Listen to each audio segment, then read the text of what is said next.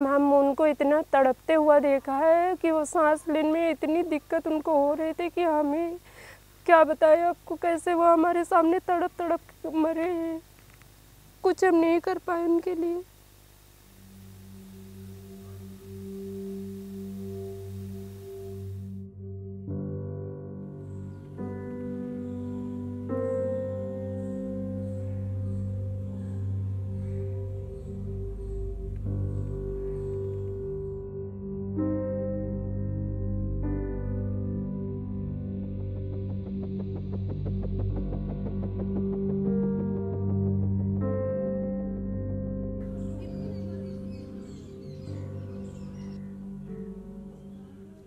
वो खुद बोल रहे थे डॉक्टर्स के हाथ जोड़े कह रहे थे डॉक्टर हमको बचा लीजिए, हमारे दो छोटे छोटे बच्चे, उनकी पढ़ाई बर्बाद हो जाएगी, उनकी ज़िंदगी बर्बाद हो जाएगी, खुद जोड़ रहे थे।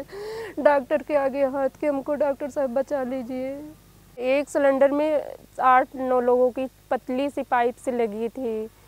बोल तो यही रहे थे कि ये भी ये भी मिल रही है, और ज़्यादा अगर बढ़ा देंगे तो सिलेंडर ख़त्म होंगे तो मिल भी नहीं पाएँगे। ऑक्सीजन की इतनी दिक्कतें थी कि ढाई बजे ख़त्म हो गई थी तो ढाई बजे वो दो, पंद्रह बीस मिनट ऐसे तड़प रहे थे कि हमने इनको इतना सीने से इतना दाब दाब के उनको तब जाके ऑक्सीजन मिली थी उनको रात में, जिसे चौबीस रात में। इतनी समय कहीं ख़रीदने पे भी सिलेंडर नहीं मिल रहे थे। मेरे घर में खुद भाई लोग सब लिए पैसे घूम रहे थे कि कहीं पे सिलेंडर मिल जाए तो इन लोग को हम बचा लेंगे, लेकिन कहीं सिलेंडर नहीं मिले। जब डॉक्टर ने पता नहीं इंजेक्शन लगाया, जैसे लगाया नहीं, जैसे दवाई वो चढ़ भी नहीं पाई, वो तुरंत ख़त्म हो गई वहीं।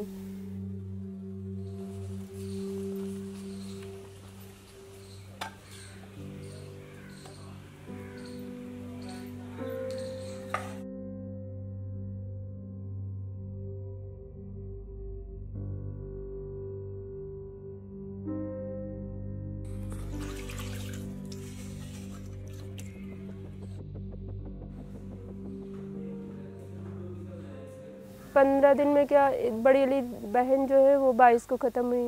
इनके पाप जी और इनके पापा और वो सास मेरी एक ही दिन में पच्चीस को दोनों लोग ख़त्म हुए। इसके बाद सत्ताईस को एक बहन ख़त्म हुई फिर अट्ठाईस को एक भैया ख़त्म हुए फिर एक एक तारीख को ख़त्म हुए फिर लास्ट डेट पंद्रह को हुई।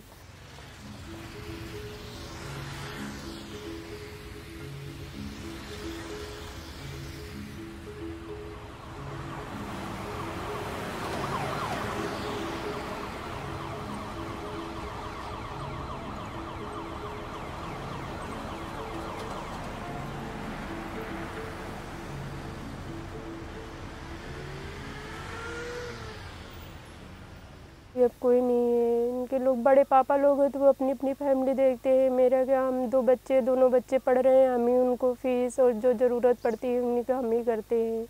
इनके पापा को जो एल आई का पैसा था, वही जो है, आया था मेरे अकाउंट में तो वैसे से बच्चों की फ़ीस वैसे से घर सा, घर का खर्चा मेरा चल रहा है। जो भी है, खेती से है, खेती का सहारा बस। क्योंकि हमारी तो ज़िंदगी में जो कुछ होना था हो गया। अब बच्चों को हम सोच रहे हैं कहीं से कहीं इनको हम पढ़ाई इनकी नहीं रोकेंगे, क्योंकि ये अगर पढ़ाई इनकी रुक गई तो ये कुछ भी नहीं कर पाएँगे। पंद्रह दिन तक तो नींद नहीं आई है तो ये बच्चे ही ने हमको ज़बरदस्ती खिलाया पिलाया सब डांट डांट के।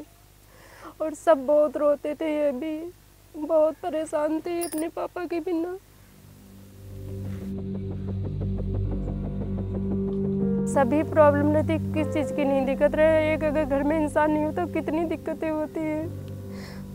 ये है कि हम सबसे कह के अपने भाई भाई को बुला लेते हैं उन्हीं से सबसे कह के अपना काम करवा लेते हैं। और यहाँ परिवार में दादा लोग, चाचा लोग इनके आते हैं, उनको कोई ज़रूरत अगर होती है, उनसे कह देते हैं।